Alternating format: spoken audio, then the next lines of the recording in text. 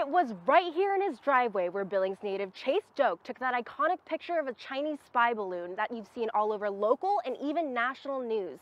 The former Billings Gazette photojournalist says he was just in the right place at the right time. Some say a picture is worth a thousand words, and that's one way photography hobbyist Chase Doak expresses himself. I've continued to do photography when I can but I, uh, I don't get a whole lot of chances to do it. But on Wednesday, an unexpected chance suddenly appeared a mysterious orb high in the sky. And I have no idea what it is. His first instinct was to rush home from work and capture the moment. It was just right here. I mean, I was literally right in this vicinity in my driveway. Little did he know he had snapped some of the clearest images taken of this mysterious object, which turned out to be something he could have never imagined. I had posted a couple of photos just to social media, just joking, like, like, I thought I saw a UFO. It turns out that UFO was actually a Chinese surveillance balloon, and Chase's photos have gone viral, appearing all around the world. Even as we're standing here, I'm, I can feel my phone vibrating because people are trying to call me. Chase has given several interviews to national and international news outlets since Thursday with no signs of stopping. I did Inside Edition,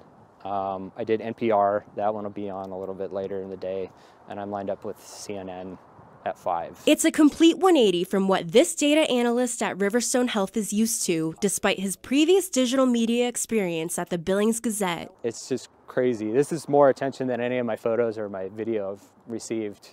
And I'm, I'm not even in the news business anymore. I'm happy to have played a part in, in history. Um, I think as a photojournalist, that was something that I always wanted to do. In Billings, Alina Howder, MTN News.